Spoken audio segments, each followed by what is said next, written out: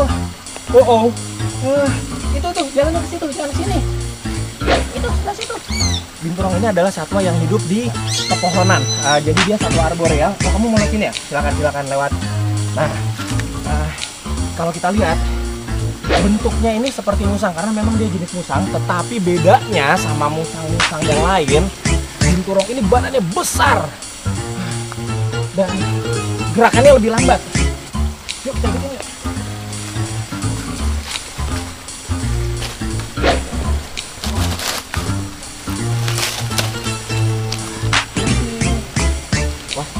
jangan terlalu dekat adik-adik.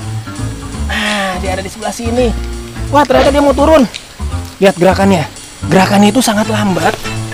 Ah, lebih lambat dari musang. Kalau musang tuh gerakannya lebih lincah. Dia lambat karena badannya begitu besar. Lihat, lihat, lihat. Perbandingan ukuran tubuh binturong ini dengan kareta.